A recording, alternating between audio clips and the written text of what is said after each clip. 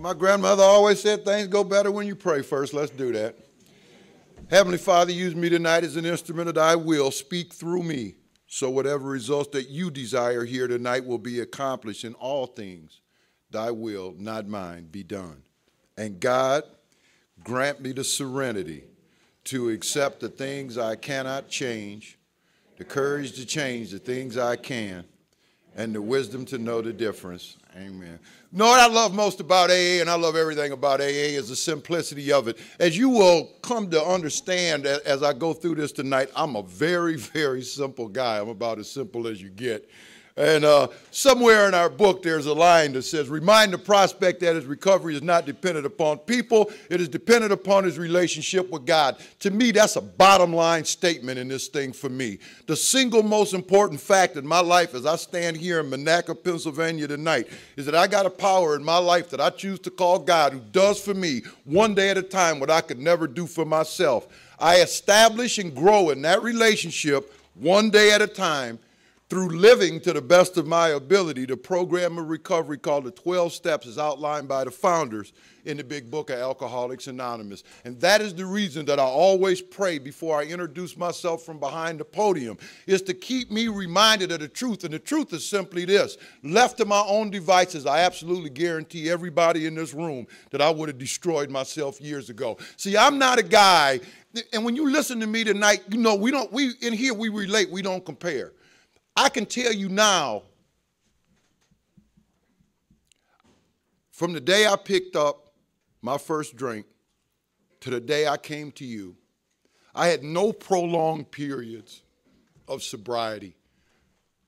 I'm an alcoholic. I'm one of them guys, you know, and I hear people say, you know, the heat was on, I was going to prison, you know, my wife was leaving, whatever was happening, and I straightened up for about six, eight months, a year, and, other, and I believe that. And that is some people's story. That ain't mine. I'm one of them alcoholics. When the heat is on, I drink more. Okay? I become more restless, irritable, and discontented. When I read the big book of Alcoholics Anonymous and started with the doctor's opinion and it described alcoholism as I know it today, it scared me half to death. I thought somebody been following me around. Scared me half to death. I'm a guy that on my own, no matter what's at stake, no matter how much I don't want to, it doesn't matter. I am powerless over alcohol, and until I find a power, it ain't stopping. And it never did. I've gone to court drunk, facing drunk charges. I've been in the hospital as a direct result of drinking alcohol and got drunk in the hospital when my job, when my family, when my freedom, eventually when my life depended on me not drinking, I drank. That's the reason I pray for. I tell you who I am, because I ain't here because of me. I'm here because of God is programming people like you. And it's important that I remember that. That prayer reminds me of two things I always like to say that I believe is vital and crucial to me staying here. First and foremost, the reason I'm here tonight is to do God's will, not mine. And it also serves to remind me that He is in charge here tonight. And as always, thank God. I am not. Good evening. My name is Kent Coleman. I'm alcoholic. I want to first off thank the Friday Morning Grapevine Group for once again inviting us to come out and to participate in this celebration of Alcoholics Anonymous, because that's what I consider this. Um, it is an honor to, I don't know, because, you know, me and Ralph been tight for a long time, and I don't speak for nobody else, but I could say this about myself and my friend. It was a time we wasn't getting invited back no place. if you invited us somewhere once, that was going to be it, you know. I know the joke. My nickname used to be Poison. And I used to be proud of that. Oh, and this girl said one night, why y'all call him that? Somebody said, invite him over your house. you will find out. It, it, is, it is so cool today to be invited to come back to places and to see all of you. you as a lot of y'all know, this is a home going for me. I got kinfolk here in Monaca. I got kinfolk in Aliquippa. I got kinfolk in Sewickley. I got kinfolk in Pittsburgh. My family is from here. My father from here. No, I was talking to my father the other day. My father went to Union High School, not too far from here. Union High School been gone a long time. I don't know if anybody ever even heard of it. But my father played football at Union High School, and he is still grinding over the championship loss to Canonsburg 60 some years ago. Ask him sometime, he'll take you through every play. So it is uh, uh, some of my most fond, fondest childhood memories are being here in these hills. And um, it is an honor and a privilege to participate in the life-giving fellowship of alcohol. Because I, I got to say this about Alcoholics Anonymous. Alcoholics Anonymous brought me back to life. I came to you more dead than alive. I came in here mentally, physically, and spiritually done. I came to you, um, I heard a young lady say it, um, emotionally flatlined. I came to you from a place where um, everything is great. There ain't no God, no devil, no right, no wrong, no good, no evil. And the three most prominent words in my vocabulary are I don't care. No. And I meant it from the bottom of my heart. I simply don't care anymore. And my mother used to say to me, You can't not care. And I used to tell her, I don't. Oh, and um, that's as far away as I ever want to get from God. And um, I don't ever want to forget that. Talk for very briefly to our new friends here tonight, new to the Fellowship of Alcoholics Anonymous. And, and what I want to talk about, when I came here, um, and I said that this is a simple program and I'm a simple guy. When I came here, I saw two distinct groups of people. First group of people, in and out, in and out, in and out. And I watched them. And it seemed like every time they came back, they was in worse shape than they was when they went out the first time. They came back in. No, I, I never seen them. They, nobody came back passing out $50 bills and driving a BMW talking about how good it was out there. No, they came back um, more miserable, more afraid, and sicker than they was when they left the first time. And I watched those people. Then there was a second group of people it's people like that put on this event this weekend. People who are laughing, who are happy. People who are talking about God, big book steps and spirituality. People who have sponsors and home groups and help others. Who stand at the door and shake hands. That's the second group of people. Didn't take me long to figure out which group I wanted to join. Now, I always say this is a simple deal. You know, my friend Al used to say AA is monkey see, monkey do. Just make sure you follow the right monkey. No. So I started watching these people who seemed to be doing well in here, who were happy. Because I don't know about you, but I had had enough misery when I got here. And, uh, those people that were staying sober seemed to have some things in common. First thing they had in common was they had something called a sponsor. When I came to Alcoholics Anonymous, I didn't know what a sponsor was. And I tell people all the time that when a new man walks or a woman walks through the door of Alcoholics Anonymous, then nobody sprinkle pixie dust on their head and all of a sudden they understand everything there is about the fellowship of Alcoholics Anonymous. When I came to you, I had never been to a meeting of Alcoholics Anonymous, nor did I know any living human being who had been to one or who would admit to having been to one. So I knew nothing about these things when I came here. And I asked them what a sponsor was, and they told me a sponsor is somebody that has working knowledge and experience with the 12 steps, who is willing to take the time to share the program with you, and just as importantly, walk the program in front of you so that you can see what can happen if you do the same thing. A sponsor is a living example of what this fellowship can do. I have sponsorship today.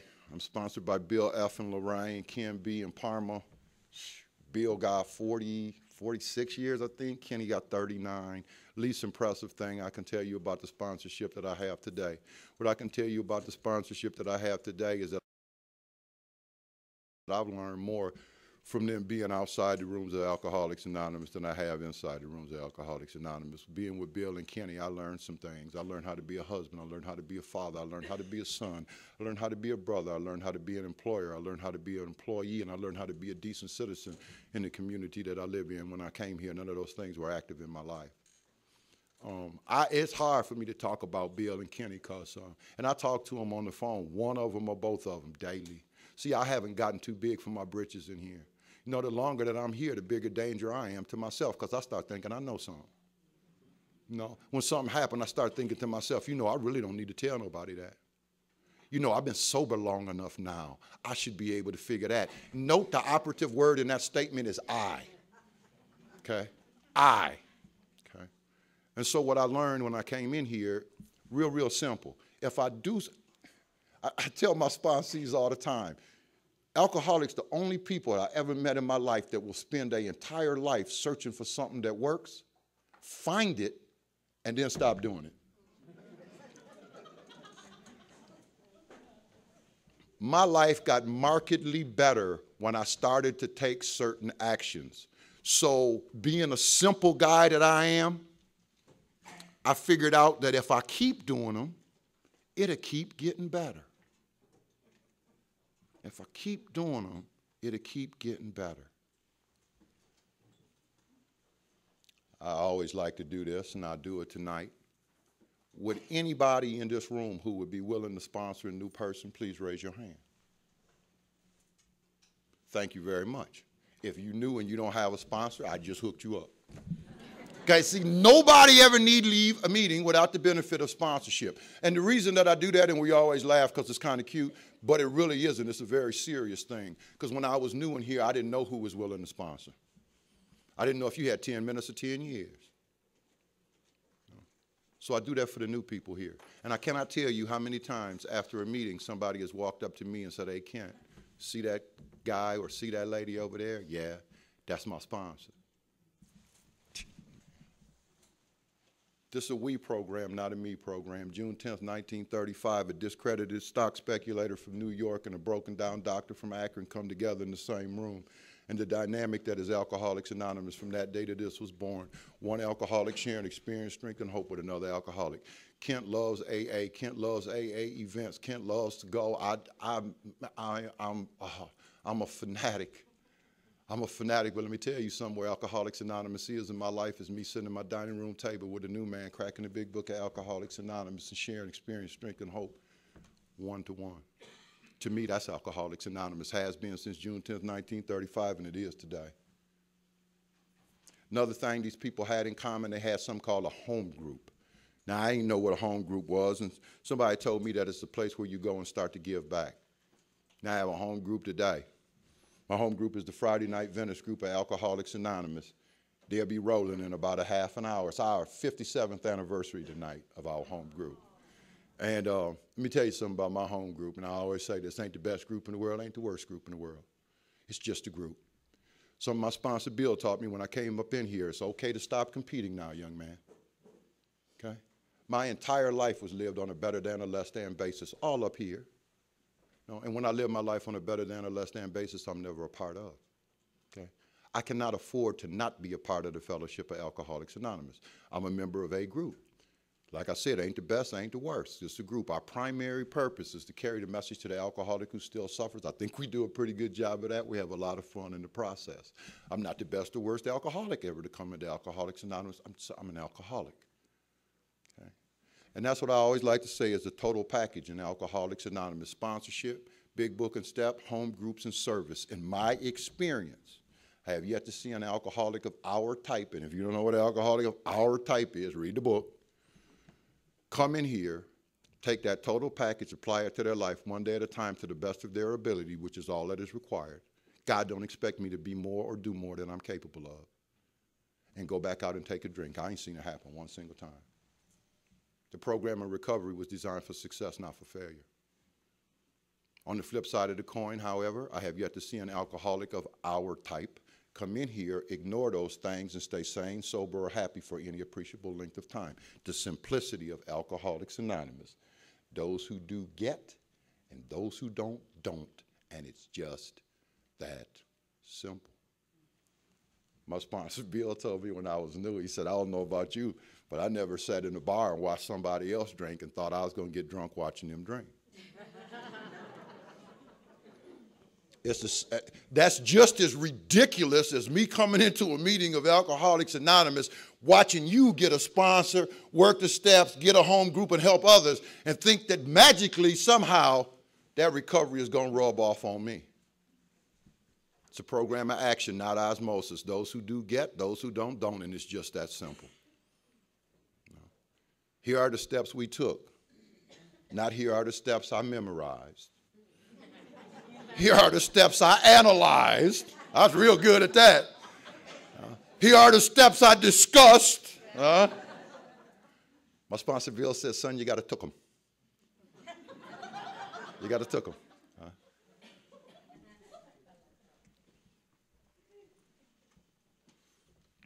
I'm an alcoholic. Didn't know what that was before I came here either. Thought it was a lot of different things. You know, I had them, but just because I live in my head, I don't know anybody else in here do that. you know, I think I know everything. Don't really know nothing. No, no, alcoholic. You know, I, when I was young, I thought you know it's you know, Otis on the Andy Griffith Show. Right? Remember Otis? Uh, I know. I watched every episode of the Andy Griffith Show. Every episode. And I never seen Otis work no place. Otis, I think Otis turned the tap in 400 episodes. No place. Always drunk, clothes wrinkled up. Yep, yep, yeah, yeah. That's alcoholic, you know.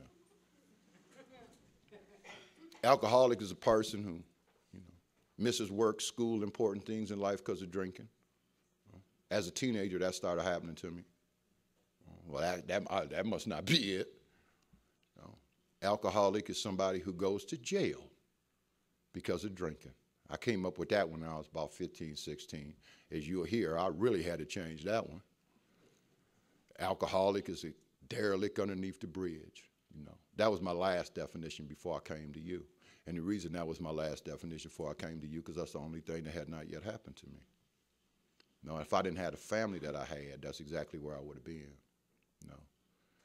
You know, I tell people I had the nerve to sit in an AA meeting in Port Clinton, Ohio, Nooners meeting, and poke my chest out and say, you know, I ain't never been homeless. There was a man, God rest his soul, Jim Redmond. He died 52 years sober. He turned and he looked at me and he said, son, I got some bad news for you.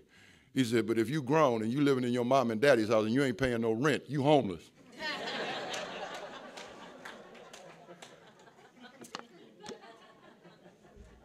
Jim Redmond hurt my feelings.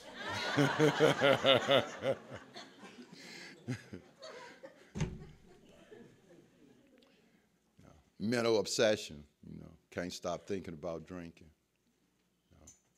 Got a mind that would justify a drink at any level, under any circumstance, at any time. You irregardless of past experience, present problems, or future consequences. Mental obsession. Physical allergy. Once I put alcohol into my body, something happens to me that don't happen to nine out of 10 people. I put alcohol in my body and my body screams for more. That started happening to me when I was 14 years old. I knew then that I drank different than other people. You know, I, I would ride with the fellas, you know, we would be going to play basketball, and we would piece up on some money get a little bit of beer. You know, found out real quick, we do that before we play basketball, Kent don't play. I guard the beer. Okay. no, I guard, and I guard it good too, because you ain't getting none when you get done playing. No, found out different. I always, always, uh, I, I can remember sitting in high school and planning the weekend. It's Tuesday, and I'm already thinking, the party store sold to us last weekend. We underage. They'll do it again. It's Tuesday. I'm already thinking about it. Already thinking about it. Can't stop thinking about it you know, and, and, and as my alcoholism progressed, you know, I can remember, uh, man, I had a heart attack when I was 28. I was in the cardiac unit for 48 hours. Called the family, the priest was up there, done, you know. My mother stood in the hallway and said, I already lost my oldest son. I can't lose another one. Do what you got to do. And I'm laying there, tears running down the side of my face no more, man. I ain't living like this no more. I ain't doing this no more. I'm killing everybody around me. I'm through with this. 48 hours, my heartbeat stabilized. They rolled me down the hall. They put me in a regular hospital room outside the cardiac unit. Two hours later, I was drunk in that room. You know what my mind told me? Whoo, that was close. huh?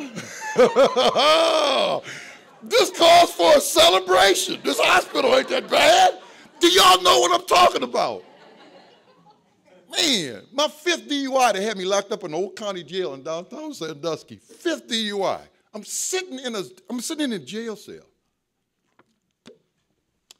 And I'm thinking, now what I should be thinking is, I'm not going to drink anymore. Certainly I'm not going to drink and drive anymore. Here's the thought that went through my mind, sitting in there. Where did I go wrong? now I worked on that for about half an hour, and I'm t- I finally figured it out. I shouldn't have driven down Perkins Avenue. That's the problem. I should have cut through the south side. Okay? Next time, next time, I'll do it. And you wonder why they take people like us and put us in mental institutions.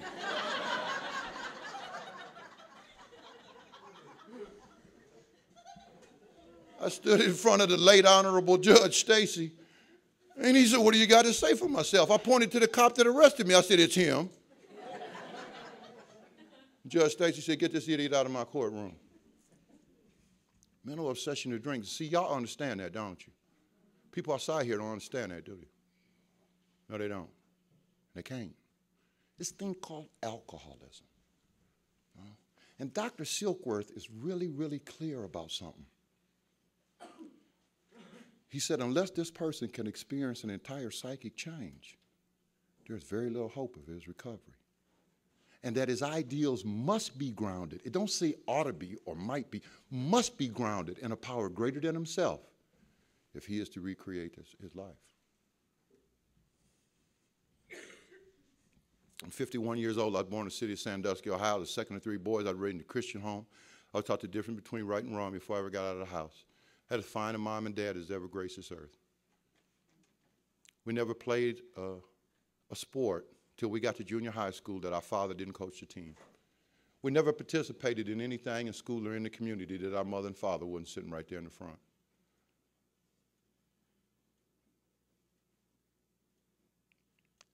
We wasn't sent to church, we was taken to church. My mother was the president of Ohio Baptist Women's Convention. My mom and dad were the best.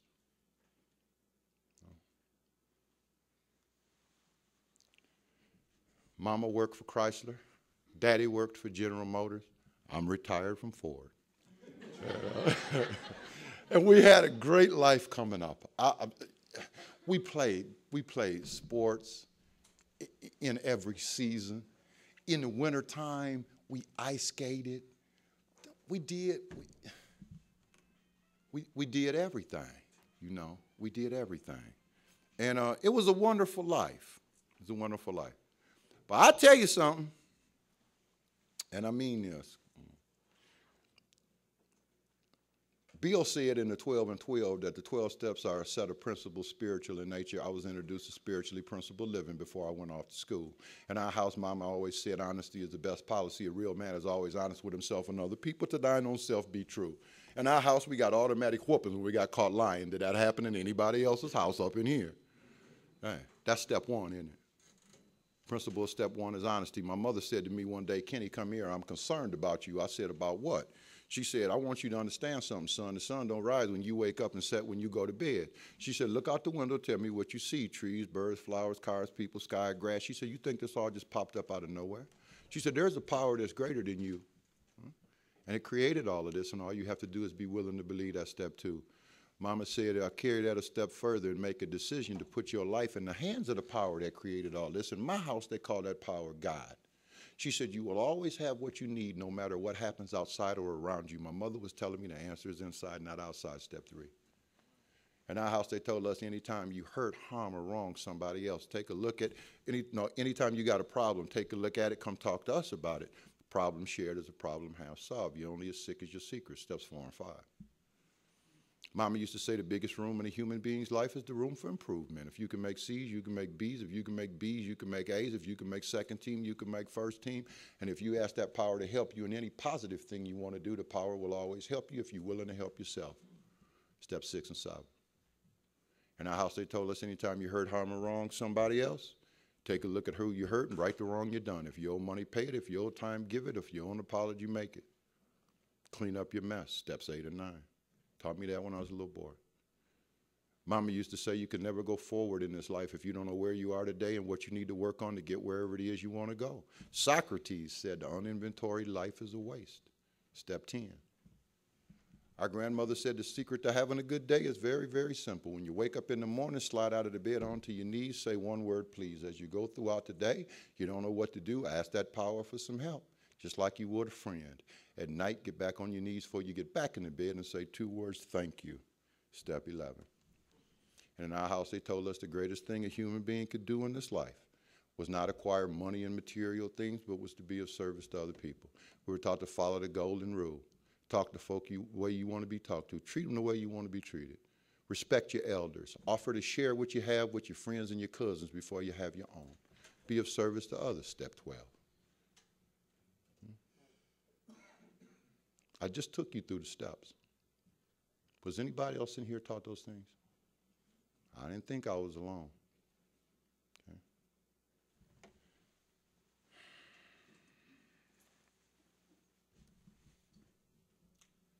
To our new friends in here, spiritually principled living did not originate in Akron, Ohio in 1935. Those principles are ancient. And there's a whole lot of people out there that live like that every day and they don't expect a pat on the back for it either. I watch my neighbors. Somebody gone on vacation, somebody goes over, waters their grass, cuts the grass shovels the driveway. They don't go around the neighborhood saying, Hey, did you see me? I cut Bill's grass.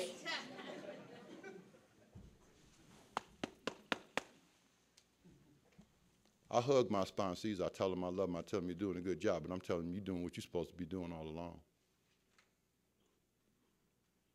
I always want a pat on the back. I was seven months sober. I went to see my grandmother. I said, Mama, guess what? She said, What? I said, I paid my bills seven months in a row. She looked at me and said, It's a big deal. I paid mine 72 years in a row. Get out of here. See?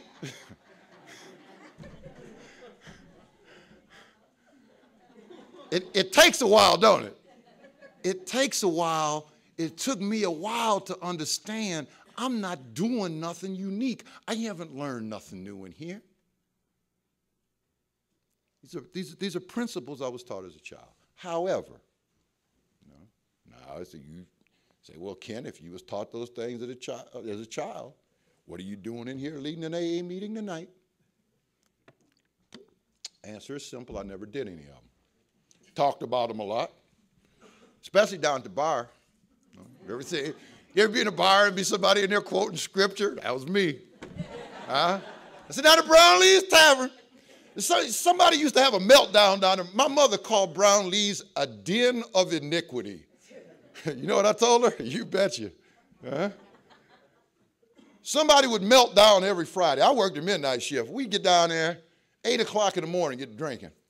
Usually about, oh, about 11 or 12, you know. Somebody would, woo! Everybody would surround him. We'd all buy him a shot, you know. And it was usually because he was getting divorced, going to jail, or losing the job, but that's what we did down in Brownlee's. And a Kent would say something like this Matthew chapter 9, verses 14 to 27. I'm quoting scripture down to bar room, giving spiritual guidance down to bar room. Huh? Didn't stop there. I, you know, I give marital counseling down there. I, I never had a wife, but I didn't see how that made any difference. Huh? With my life savings in the bartender's cash register, I get financial guidance down there. Huh? Huh? It's amazing, ain't it? Bartender driving a brand new Cadillac. I'm working in an auto plant and ain't got a car. What is wrong with this picture? What is wrong with this picture?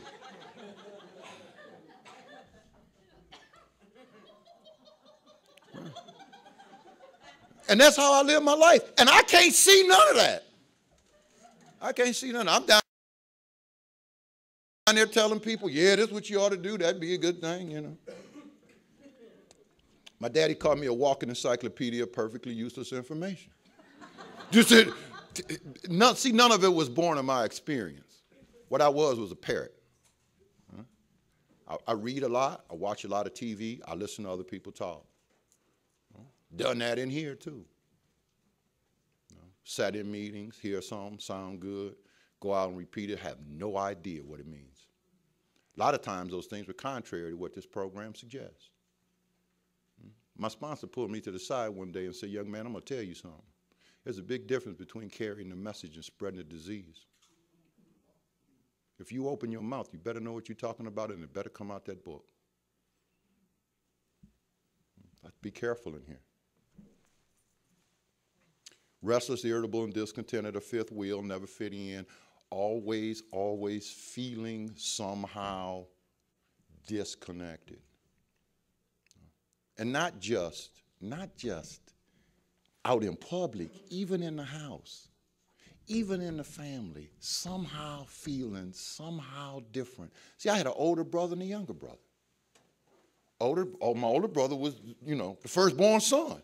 You know what they say? Well, you know, ain't nothing like the first one. I remember my uncle always used to say that. Ain't nothing like the first one. My little brother, he was the baby coochie cuckoo. You know, everybody loved that baby. And I'm over there thinking, mm-hmm, what about me? You know, it's a great thing about being sober is the ability to look back in truth. Look back in truth, I was never treated any differently than either of my brothers. Actually, I was my mother's favorite. I got this perception thing.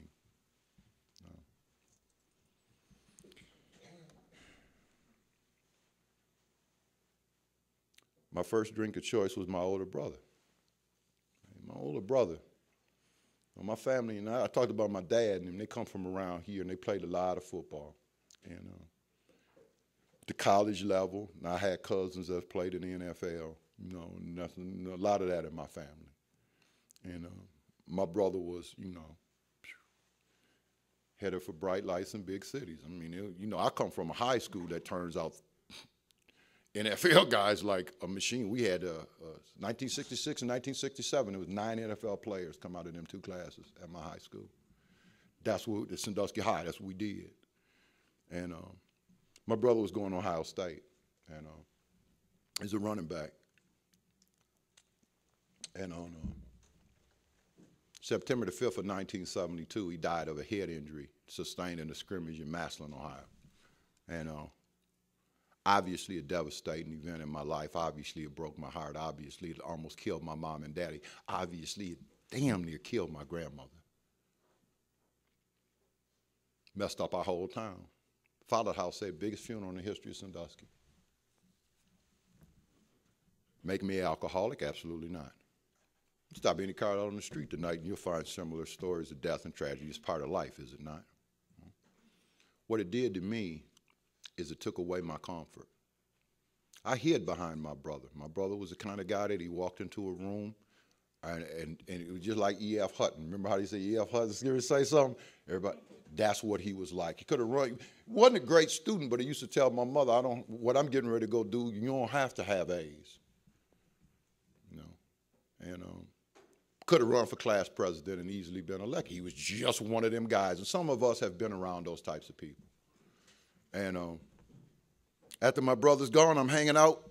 Guys my own age. Now I don't have my brother to hide behind. My, I don't. I no longer have the sense of ease and comfort that I used to find in his shadow. And I'm out there now, and it's like I'm naked to the world, you know. And um, and man, I am so that self-centered fear, man. I'm so full of me I'm thinking that everything I say and everything that I do is being watched by everybody and critiqued by everybody. And what I know now is it was being watched and critiqued by nobody but me. No? That self centeredness that they talk about in this fellowship. Standing on the, on the corner in 1972, I'm 13 years old. My crew, three topics drinking beer, smoking weed, climbing in and out of girls' bedroom windows in the middle of the night. I'm batting zero, zero, zero. You know, my mom, my mom didn't go for that. Man, I went to school, I went to church, I went to ball practice, I was at the house. I ain't, you know, but I'm standing out there with the fellas. I knew these guys since I was two years old. I'm standing out there with the fellas, and I ain't letting them know that I don't know, you know. Remember them dogs they used to put in the back window of the car with the head going like this? That's me. Oh, yeah, oh, yeah, I know what you're talking about. Oh, wasn't that good? Yeah. I'm 13 years old. I'm telling people I've been places I ain't been. I've done things I haven't done, and I know people I don't know. I am willing to compromise everything that I've been taught and believed to be true in this life to gain your acceptance. I'm empty on the inside. I have no sense of self. Mama used to talk to me a lot after my brother died, and she used to say, Oh, Kenny, God's been good to you. You're going to have a wonderful life. I used to look at my mother and say, You know what? I'm going to tell you something. I don't know what you're talking about, but here's what I, here's what I got in mind. Um, I ain't got no desire to be a service to God, you or anybody else. You want to know what I want out of life? I can tell you very quickly. My, I want mine. I want to get it my way, and I'm going to really need you to leave me alone while I'm doing it because I got a different plan than you got. And my mom used to get that sad look on her face and she said, Y'all, you know, you don't get it. We didn't raise you that way. And I put my finger in her face. I said, You the one who don't get it. Get out the way, watch me roll. 14 years old, I make a conscious decision that uh, once I'm old enough to call my own shots, I'll never again darken the door of a church, and I made that happen. I call that a reverse third step. I have never, from the day that my darkest days drinking, I have never doubted the existence or the power of God. I have never doubted it. But I made a decision that that's not the way I want to do it. I had a better way. No. You weak. You ain't me. You need that. So I used to tell mama, I don't need that. One of the gifts God did give me, I did well in school. I'm a guy who is not challenged by school. And the truth of the matter is this I can absorb huge amounts of information in short amounts of time, and I know how to take a test. I found out when I got to college that does not make you a good student. So you can't bluff your way through where I went to school. This lady said to me before I went off to college, they're going to require something of you down there. I was like, you talking to the kid. no. the kid, the kid was on academic probation three times. But I was sitting in study hall one day watching people doing their homework. And uh, you know, my sponsor Bill told me when I came in the program, he used to run a treatment center called Compass House in Lorain. He used to take me in his office and, and yell at me. And they had them old like plywood doors. Everybody in the building could hear it, but he'd always close the door like nobody could hear it, you know. And we went in there one day and he was yelling at me and he said, Anytime you in a room alone, all your enemies are there. And he was referring to this. I was sitting in study hall one day. I had a visit from the enemy, my thinking. Here's what the enemy told me. You know, Kent these people in here breaking their neck trying to get B's and C's, taking general math and science? You taking calculus, physics, fourth year Latin, fourth year English. You sleep in class. You getting straight A's. You know, it just might be entirely possible that I knew everything.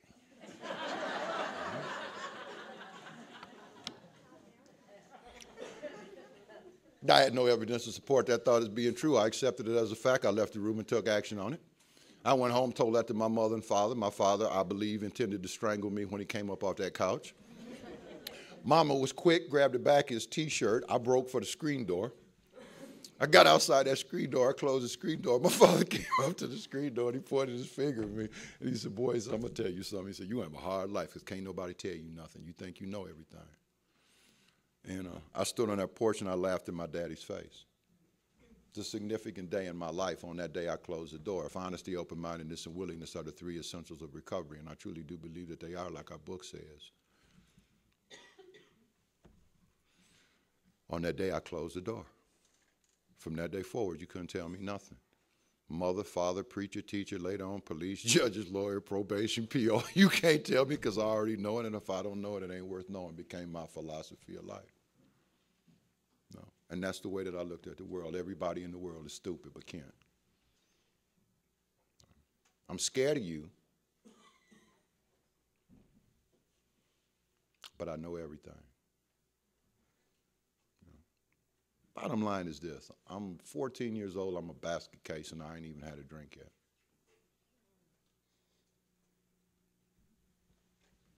Got in the car with a guy I played basketball with in high school. He wanted to get something to drink. We went through the carryout. We bought 10 quarts of Schlitz Malt Liquor Bull. In Bill's story, Bill said, I forgot the strong warnings and prejudices of my people concerning drink. So did I. Alcoholism don't run in my family, it gallops. And I have been told we do not do alcohol well. Look at your Uncle Ed, look at Junior, look at Bobby. I'm going to tell you, we here in Western Pennsylvania, I done some drinking up here.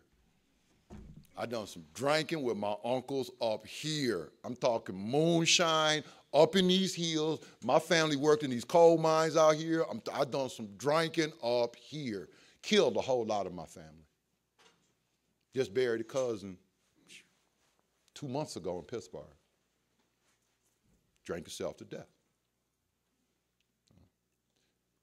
But I'm willing to do anything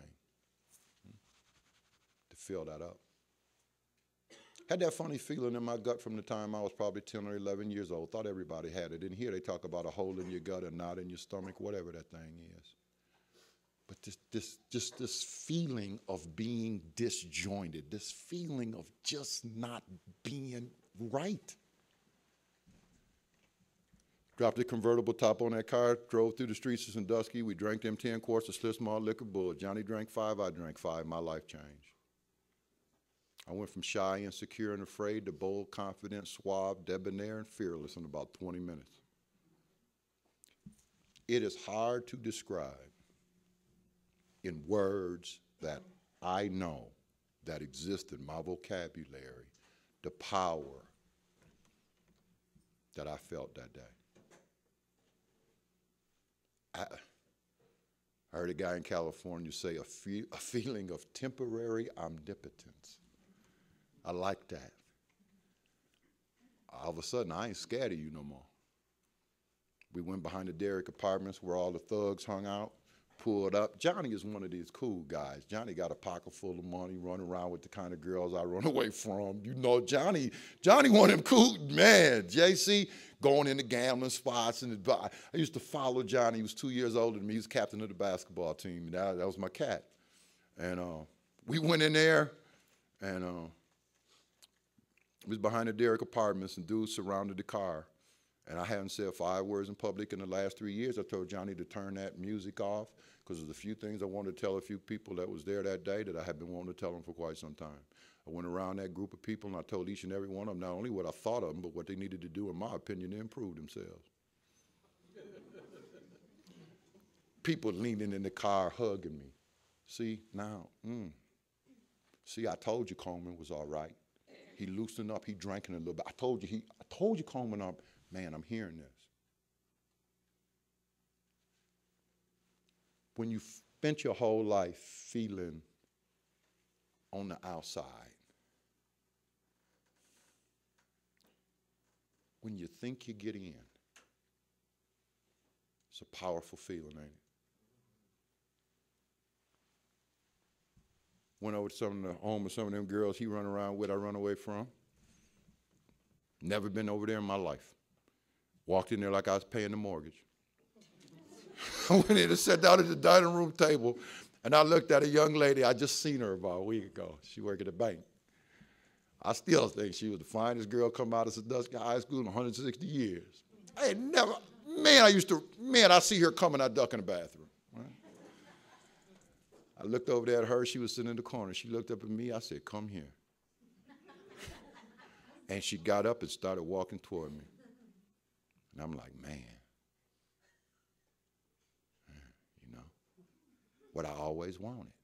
A sane person would have probably thought if you weren't so shy and scared, you could have just spoke up. Look what you did. That ain't what I did. Here's what I thought. And think about this thing up here. If you had been drinking before now, look what you could have done.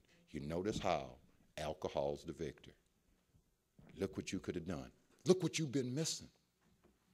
I always say it's an honest program, and it's, I'm gonna be honest with you tonight. When she got over there to me, I had no idea what to do with her. for all the talking that I do, you know. But I watch a lot of TV, and I know it's some more TV watchers than some of y'all. And, uh, a lot of guys in here that was home on Friday night. I patted my lap, and she sat down in my lap, and my life changed again. I'm telling you, dude. Hey, man. And I'm looking at Johnny, and Johnny looking at me, going, "Hey, yeah." I, I, see, I can't tell you, and I want you to, I want you to understand something. It created something in me, not just the particulars of that whole thing, but it created something in me that I was to chase for almost the next 20 years. A book causes a sense of ease and comfort. well being, whatever, however you want to say it, completeness, wholeness for somebody who every day of their life felt on the outside. Do you know how powerful this was for me?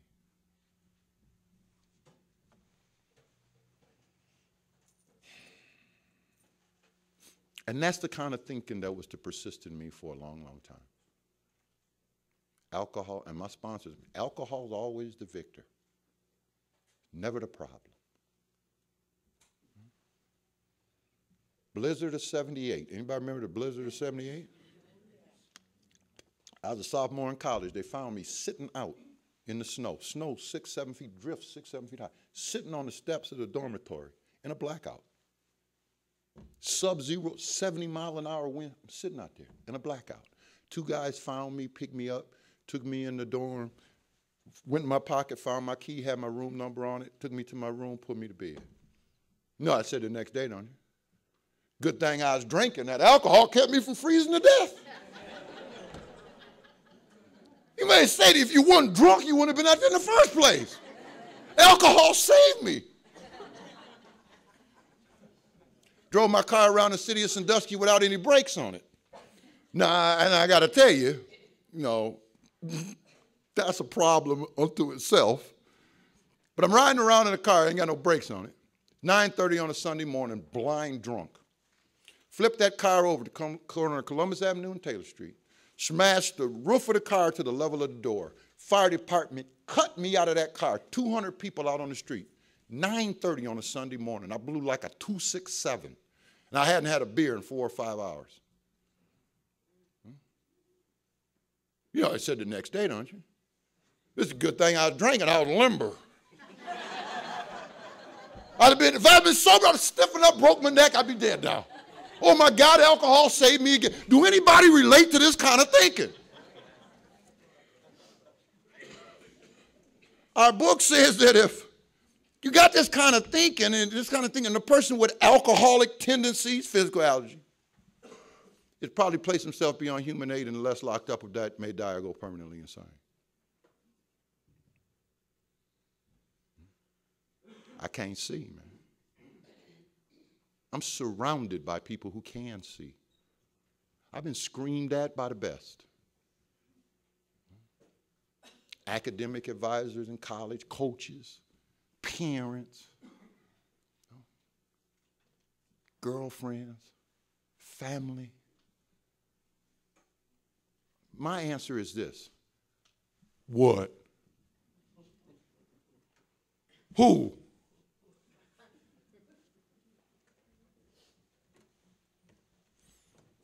The family Thanksgiving dinner. Walked in the front door, eight women in the living room grabbed a purse at the same time. no, and I was offended. what? See, y'all, that's why I don't come around y'all. y'all. Y'all know what I'm talking about? And I had got every one of them. Every one of them. You better not put none down. Get paid on Friday morning, broke by 1 o'clock Friday. Y'all know what that's about, don't you? You got a price of a pack of cigarettes or a cheap 40 ounce. I lived like that for years. Not, I didn't, see, I want you to understand something. I didn't live like that for a couple years, a few months. I lived like that for the better part of 20 years.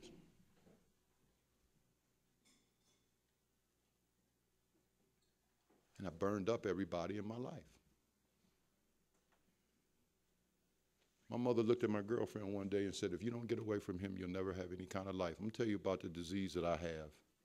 It's a paralyzing disease. It doesn't allow me to live, it allows me to exist. I'm a guy who stands on the sidelines of life and congratulates you as you go by and your life progresses. Congratulations on that new job. Congratulations on that baby. Congratulations on your upcoming wedding. See, I'm always amazed sometimes because I got to remember that my experience is my experience. When I'm drinking, my disease is active. I don't have no wife. I can't. I don't, I don't have children. I can't. I don't own a home or anything of substance or value. I can't. When I pick up a drink, it is lights out. It is all I can think about. It is all that I can do. I'm sorry. That's my story. Congratulations on that new wedding. My college roommate was getting married. I mentioned that in front of my mother. And My mother looked at my girlfriend and said, If you don't get away from this tramp, you ain't gonna never have what she does.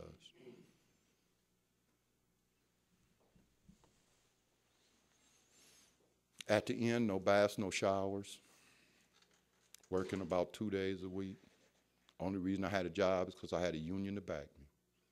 And it got to the point where they didn't even want to. You know what I did? I had an answer for that. I ran for union committeeman myself. I was a jailhouse lawyer. If you stayed in trouble as much as I did at work, I had the whole contract memorized. Committeemen used to come and ask me what to do about a given situation based on the contract because I knew the whole, I had to defend myself constantly. Now, that's what my life was like. But in the end, just walking dead, man. Just walking dead. Stinking. Living, I, I, I be in this room, beer cans this deep. My cousin told me one time that she came by there with my mother, and my mother opened the front door and stood in the door, and I was laid on the couch, passed out drunk, and just cried.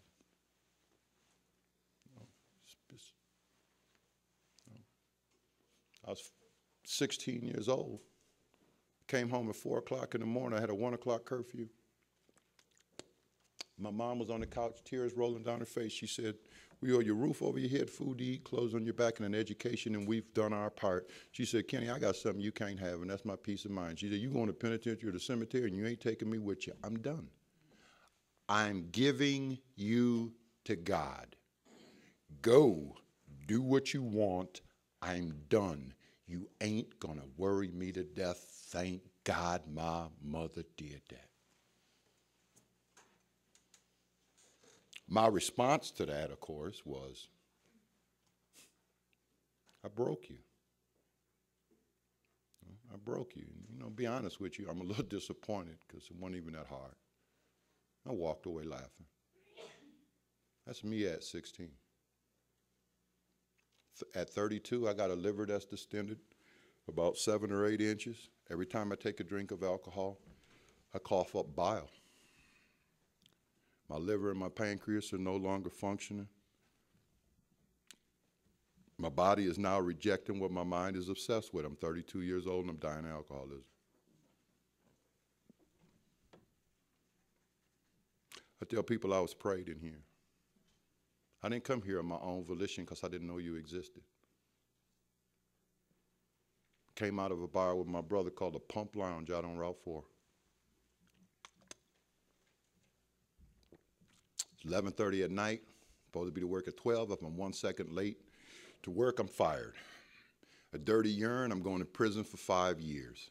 Boy, that, you know, I got a five-year sentence in Mansfield, which is the state penitentiary in Ohio, suspended, and this is what the judge told me. Can't so much as a aspirin in your system when you come to report and I'm sending you for them five, and I ain't talking about five months in shock. You gone for five. This is one of the most dismal records I have ever seen.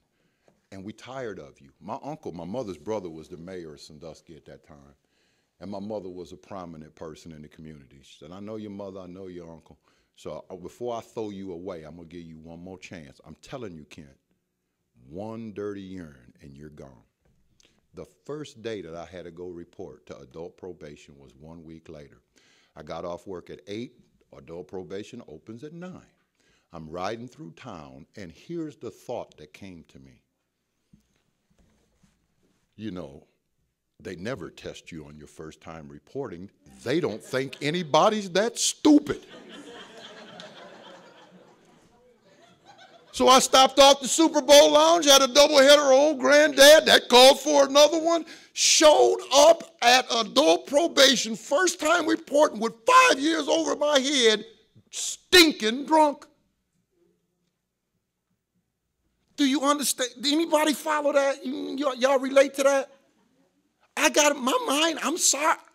Uh, unless I get a power greater than myself, I'm doomed. I'm the guy they talk about in the doctor's opinion. I can't break that. I'm sorry, I can't. If I could decide not to drink and not drink, I wouldn't need you. One of the worst, my sponsor told me one of the worst statements in here is he'd rather be drunk than sober. He'd rather be drunk than sober. If he's alcoholic, he ain't, he ain't got no choice. There's people who choose not to follow the path of sobriety. That's true. But when a new person come in here and go out, I don't sit around and say he'd rather be drunk than sober. I ask myself as a member of Alcoholics Anonymous that I extend to him the hand of Alcoholics Anonymous and offer to share with him the solution that we have found. For that I am responsible, not what he do with it.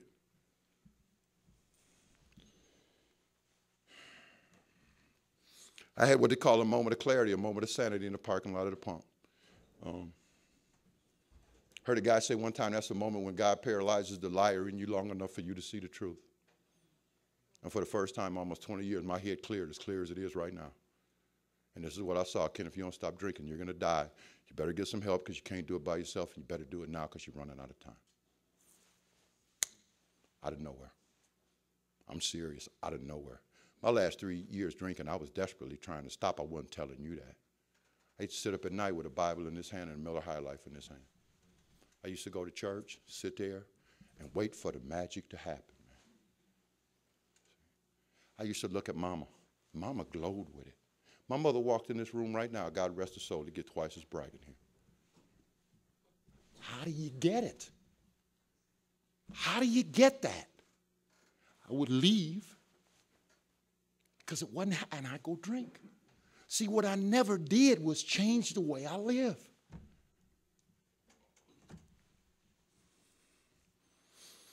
Went home, called a guy I went to college with, was my business partner in college. Our business was not legal. and today he's a doctor, and he's a very, very powerful brother. And I called him, and I because I, didn't know who else to call, I said, "Rich, a doctor, man, he'll help me." Maybe I owed him five grand, hadn't paid him none of it back. Didn't really know if he'd take a call from me. His wife answered the phone, and this is what she said and how she said: "Richard is Kent." But that's the way everybody talked about me. And uh, Rich got on the phone and uh, I said, Rich, it's your boy, man. I need some help. And this is what he said to me. Man, I've been waiting for this call for seven, eight years. Pack a bag, stay by the phone. I got you. And I'm going to tell you something. I always say this. When my phone rings at 3 o'clock in the morning with a call from the North Central intergroup of Alcoholics Anonymous. You know what I tell them, don't you? Pack a bag. Stay by the phone. I got you. Rich um, told me, don't go to work. They're going to fire you. So I want you to come down here. I'm going to put you in treatment. Got up the next day, my brother and his wife in the front seat, me in the back seat. Now, I didn't know too much about treatment, but I figured out one thing on my own because I am kind of smart. I figured out they wasn't serving no liquor in there. So I got a case of Jennies for the trip. Me and I got 24 buddies in the back seat. I start chugging them Jennies as we going down I-75. I got six or seven of them cold ones in me, and here's the thought that came to me on my way to treatment. you know, I just may have overreacted here. But ain't that what a few drinks do for you? Man, I used to go down to this bar called Ev's Corner. Man, Ev had a Doberman pinscher like this. Ev didn't have no gun in his bar. He had this Doberman. He go like this, you up, you know. And I'd go in there, man, that dog would be howling. You know, ever be behind the bar. I'm homicidal, suicidal, shaking out of my skin. I'm 30 years old. Ever turn around, give me an eight ounce water glass of granddad, put a cold Miller's down. I shoot that granddad down, get that Miller's behind it. Five minutes later, I'm pumping quarters in the jukebox and telling some old woman she's in for the night of her life. I don't know about you, but that's the effect produced by alcohol, baby. Goes like a whoom. Hey, you know, y'all know what I'm talking about. Five minutes later, I'm looking for a rope to hang myself. No, I, it's, I, whoo, that's, oh man. What I didn't know is my daddy told my brother and his wife he'd give him $100 not to bring that tramp back here. I'm serious, he did. Got down there. Richard drove me from Centerville to Xenia, put me in treatment, and uh, bought me a quarter millers for the trip. And we got in the parking lot. He put his car in park. He turned. He looked at me. Got the biggest smile I've seen on his face to this day. And he said, "Go ahead, dog. Finish that. And don't ask me how I know it, man. He said, That's the last drink you're ever gonna take." 17th of May, 1992. Have not had another drop of alcohol, anything stronger than aspirin since that day. I would have never believed it possible. Treated me great at the hospital. Had some liver problems. I spent nine days in a hospital bed. I came out. They put me in men's group in treatment with a counselor, right? They got guys reading out loud stories of their drinking escapades in the streets. Counselor says to me, Well, Kent, your first day in group, tell us what you think. I said, I'll tell you what I think, Jim. when I'm down here for a few days to get help for this small problem that I might have, I would like to volunteer my time, services, and energy to help you with these people because these are the sickest people I've ever seen in my entire life. You know? That statement got me an extra week of treatment. I spent 35 days in a 28 day program. They cut my insurance off after 28 days. They called uh, out to the plant and they said, We don't think Kent's ready to leave the hospital. You know what they said out to the plant? We don't either. well, they allowed me to stay another week. I went through phase one twice and uh, had me write and read to the group. I did. I got done. Jim said, "Put your chair in the middle of the room. Let's make a circle around Kent and tell him what we think of him." I think Kent's so full of BS. His eyes are turning brown. If you threw him in water, he'd float away. Nicest thing that was said in that room that day. What them guys told me in that room that day was, if I didn't get honest with myself, I was going to leave that place and I was going to die. And I'm going to tell you something. To the best of my knowledge, I'm the only person that stayed sober out of them people. They saved my life. I went back to my room. I sat on the edge of my bed and I said, You know, your whole life you've been a fake and a phony. For once, just for once, why don't you give this a try? And I made a decision to try to be as honest as I could, which wasn't very honest, but this is a progressive thing on both sides of the ball. Went to my first AA meeting there, loved it. Loved the sharing, loved the, the, the non judgmental behavior Lady had a problem. They shared it with her. Nobody condemned her, judged her, criticized her. I loved the fellowship of Alcoholics Anonymous the first time I saw it. And I know it won't happen for a lot of people. If it ain't happened for you yet, keep coming back. Got out of treatment after 35 days. I came home and I played a game. It's called Don't Drink, Go to Meetings, and Don't Do Nothing Else because I have figured I don't need all the stuff that you need. Okay? I'm not drinking. I'm going to these meetings. I like these meetings. I'll put my arm through a window. I cut an artery in my arm. I start bleeding all over the floor. I put a towel on my arm. I drive myself to the hospital. I run in the emergency room. Doctor says, come on back, Mr. Coleman. We'll treat you now. I sit there in the emergency room, bleeding all over the floor. Tell the doctor, no thank you. I'll just sit here and I bleed to death in the emergency room. Ladies and gentlemen, welcome to the emergency room. I've been in this fellowship of Alcoholics Anonymous long enough now. I watch people who attend these meetings on a daily basis die of untreated alcoholism. The treatment for the disease that I have is a spiritual awakening as a result of these steps. Period. Period.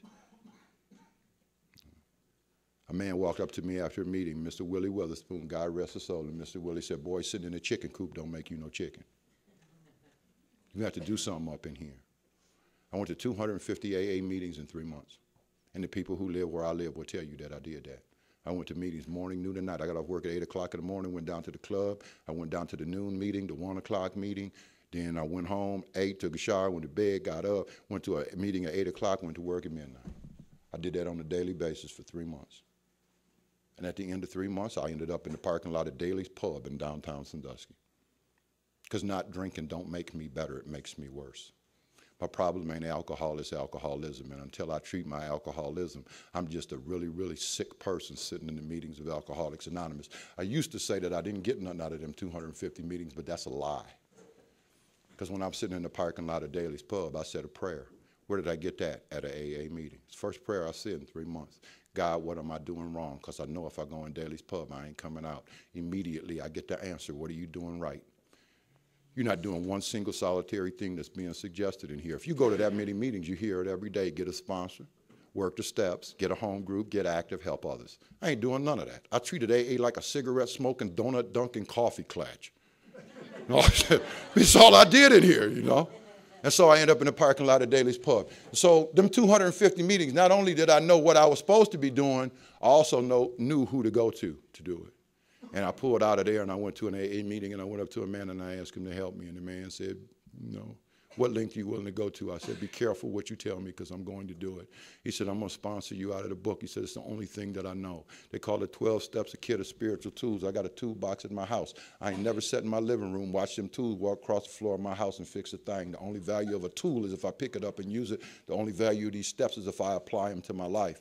I've had the great privilege of seeing this fellowship all over the world. I have yet to attend an AA meeting where somebody stands up and says, works if you know it.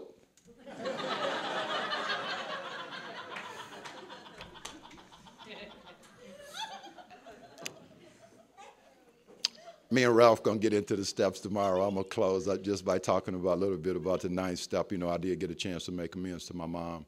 My mom was still alive when I got sober. My mother died when I was almost two years sober. I went back into that home because my house wasn't a safe place. My house was a spot. It wasn't a house. And I went back into that home to help my dad take care of my mom. My mom had bone cancer, and um, on a daily basis. My mom saw me go to AA meetings on a daily basis. My mom saw me bring sponsees to the house. My first sponsees, God bless them, a lot of them guys are still sober. And we'd sit at that dining room table and we'd get into that big book. My mom saw me put on a shirt and a tie and go speak at an AA meeting when I didn't have a suit. My mama saw y'all come into my life and my mama saw my life start to change. And when I went to make amends to my mom, I had a big speech planned out and, you know, when the time came, I looked at her, she looked at me, tears running down her face and tears running down mine, and the only thing that would come out of my mouth was, Mama, I'm sorry. Now, my mother knew exactly what I was doing. My mother raised me this way. She knew exactly what I was doing, and my mama smiled at me and she said, I forgive you. My mama died holding my hands and looking in my eyes in a hospital room with my whole family up there calling her name. My Uncle Amos stood in the back of the room and said, Don't call her no more because she ain't going to look away from that boy. That's how she wants to go. And that's how my mother left this earth. And I'm going to tell you something right now. I've been blessed a million times over, but if I never got nothing but that, that was enough. Thank God for the fellowship of Alcoholics Anonymous. I met and married a woman in Alcoholics Anonymous. She's sober two years longer than me, reminds me of that on a daily basis. My wife was, uh, Kathy was 20 years sober uh, September 29th. And uh, my wife, I always tell people my wife is one of God's girls. For one thing, she put up with me. Mm-hmm. see, I ain't part, I'm to tell you, a lot of days I am no day at the beach. No. Uh, friend of mine in Canada, Butch, say, you know, if you think it's going to be all sunshine and roses up in here, you better buckle up. no, you know. My wife, uh, She's the chairman of the Institutional Committee for Women in our district, and she goes into the jails and institutions. She's a cardiovascular intensive care nurse. Um, I always tell people this, and I mean it truthfully. I don't have to go to AA meetings to see how this program is supposed to be lived. I got it in my house. I wish I could do this at 10. My wife wears this like a loose garment. I wish I could do it at 10th as well as she does. I got two little girls, ages 14 and 9, look like my wife and my mother combined. I got some beautiful little girls, act just like me. Stay tuned.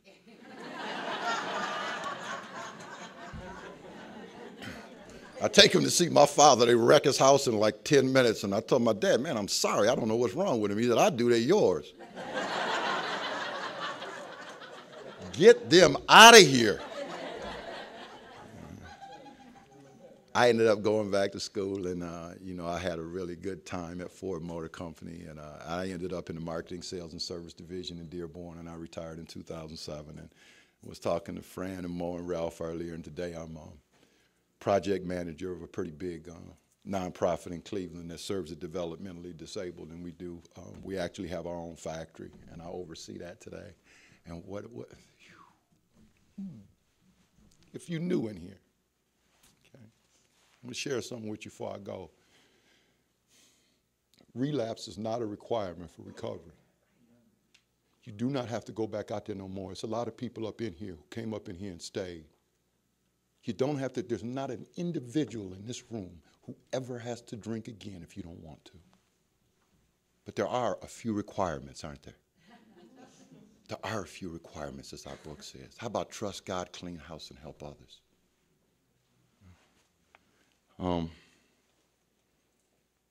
they gave me a tape of a man named Warren Chisholm when I first came in the meeting 12th man in AA in Cleveland, got sober in 1939. In that tape, Warren Chisholm says something that raised the hair on my arms.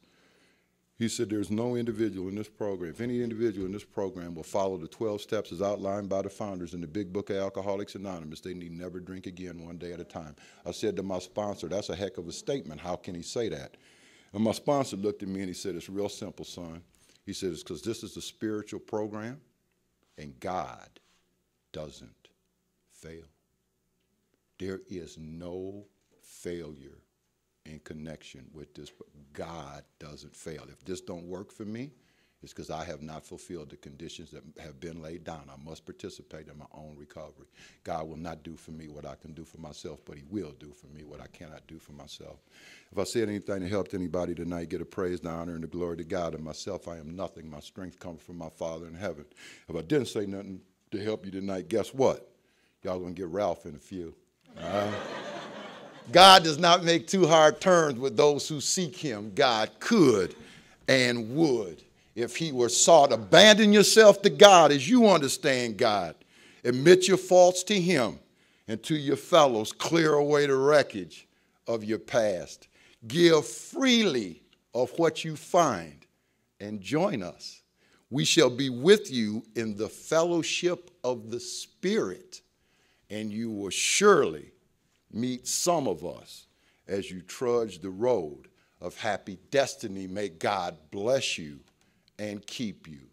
Until then, good night.